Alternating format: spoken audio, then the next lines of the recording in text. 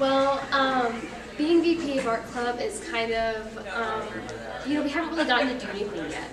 Um, this is only our second meeting. Well, right now it's our second meeting, and so I haven't really gotten um, to do very much in the way of when it comes to like responsibility.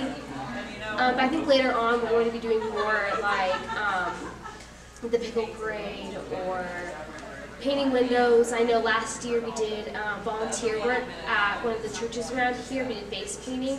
So I feel like a lot of the uh, things like that will become my responsibility to organize and have times and turn out papers and things like that. okay.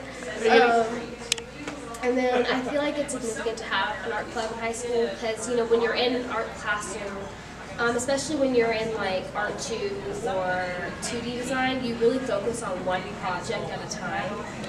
And, you know, you don't really get to do other things outside of that. So, you know, here in Art Club right now, we're doing like pumpkins and we get to explore like carve little pumpkins. It's a lot of fun.